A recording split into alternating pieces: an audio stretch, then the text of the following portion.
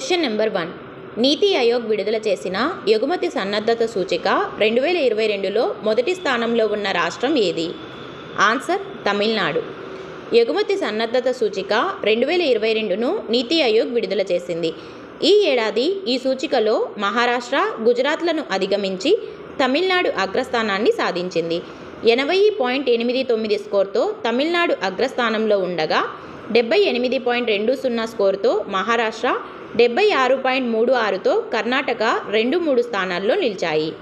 Question number two global maritime India summit రెండు వేల ఇరవై మూడు కర్టన్ రైజర్ ఈవెంట్ను ఎవరు ఆవిష్కరించారు? Answer Sarbananda Sonowal global maritime India summit రెండు వేల ఇరవై మూడు కర్టన్ రైజర్ ఈవెంట్ను కేంద్ర ఓడరేవులు షిప్పింగ్ మరియు జలమార్గాల శాఖ మంత్రి సర్బానంద సోనోవాల్ ఆవిష్కరించారు. ఈ ఈవెంట్ రెండు వేల ఇరవై మూడు అక్టోబర్లో న్యూఢిల్లీలోని ప్రగతి మైదాన్లో జరగనుంది. Question number three Jan Vishwas bill రెండు వేల ఇరవై మూడులో ఎన్ని చట్టాలను సవరించేందుకు కేంద్ర మంత్రివర్గం ఆమోదం తెలిపింది? ఆన్సర్ నలభై రెండు. జన్ విశ్వాస్ బిల్లు రెండు వేల ఇరవై మూడులో సవరణలకు కేంద్ర మంత్రివర్గం ఆమోదం తెలిపింది. పంతొమ్మిది మంత్రిత్వ శాఖలచే నిర్వహించబడే నలభై రెండు చట్టాలలోని నూట ఎనభై మూడు నిబంధనలు సవరించడం ద్వారా చిన్న నేరాలను నేరరహితం చేయడం లక్ష్యంగా పెట్టుకున్నాయి. ఈజ్ ఆఫ్ డూయింగ్ బిజినెస్ని ప్రోత్సహించడం మరియు కోర్టు కేసుల బకాయిలను తగ్గించడం దీని లక్ష్యం. Question number four. Central registrar Sahara refund పోర్టల్ను ఏ మంత్రిత్వ శాఖ ప్రారంభించింది? ఆన్సర్ సహకార మంత్రిత్వ శాఖ. కేంద్ర హోం మరియు సహకార శాఖ మంత్రి అమిత్ షా న్యూఢిల్లీలో సెంట్రల్ రిజిస్టార్ సహారా రీఫండ్ పోర్టల్ను ప్రారంభించారు. సహారా గ్రూప్ ఆఫ్ కోఆపరేటివ్ సొసైటీల డిపాజిటర్లు తమ క్లెయిమ్లను సమర్పించడం కోసం ఈ ఆన్లైన్ పోర్టల్ను అభివృద్ధి చేశారు. Question number five. SBI caps చీఫ్గా బాధ్యతలు ఎవరు స్వీకరించారు? ఆన్సర్ రాజయ్ కుమార్ సిన్హా. రాజయ్ కుమార్ సిన్హా అధికారికంగా ఎస్బీఐ క్యాపిటల్ మార్కెట్స్ లిమిటెడ్ చీఫ్గా బాధ్యతలు స్వీకరించారు.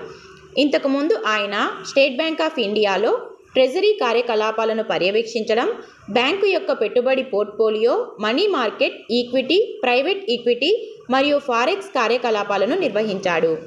Question number six. Commonwealth Games రెండు వేల ఇరవై ఆరుకి ఆతిథ్యం ఇవ్వకూడదని నిర్ణయించుకున్న ఆస్ట్రేలియా నగరం ఏది?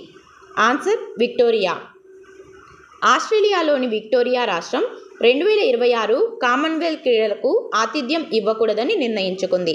విక్టోరియా రాష్ట్ర ప్రీమియర్ డాన్ ఆండ్రూస్ సుమారు ఏడు బిలియన్ ఆస్ట్రేలియన్ డాలర్లు ఖర్చు చేయడానికి తన రాష్ట్రం సిద్ధంగా లేదని చెప్పారు. పన్నెండు రోజుల కామన్వెల్త్ గేమ్స్ ఆస్ట్రేలియాలోని విక్టోరియాలో నిర్వహించాలని ముందుగా ప్రతిపాదించారు. Question number seven.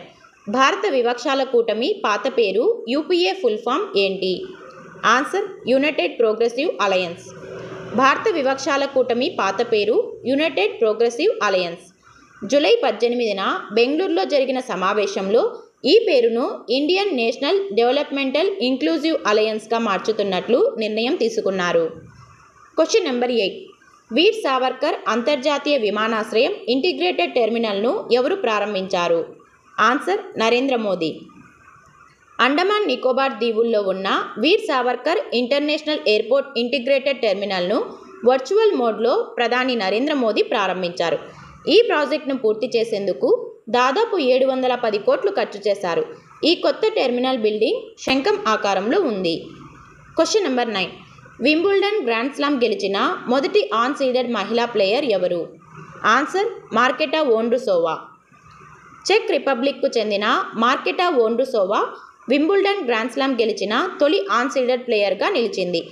ఫైనల్ మ్యాచ్లో మార్కెటా ఆరు నాలుగు ఆరు నాలుగుతో ట్యునీషియాకు చెందిన ఓన్స్ జబీర్పై విజయం సాధించింది.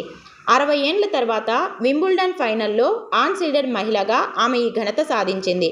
ఓండ్రుసోవాకు ఇదే తొలి గ్రాండ్ స్లామ్ టైటిల్. ఇక ఆఖరు ప్రశ్న. దీనికి సమాధానం తప్పకుండా కామెంట్ చేయండి. రామ్గఢ్ విజ్దారి టైగర్ రిజర్వ్ ఏ రాష్ట్రంలో ఉంది?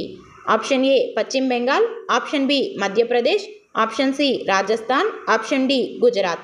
Video నచ్చితే లైక్ చేయండి. మీరు ఇచ్చే ఒక లైక్ వలన ఈ వీడియో మరో పది మందికి వెళ్తుంది. అలాగే మరిన్ని వీడియోస్ కోసం మన ఛానల్ని తప్పకుండా సబ్స్క్రైబ్ చేసుకోండి.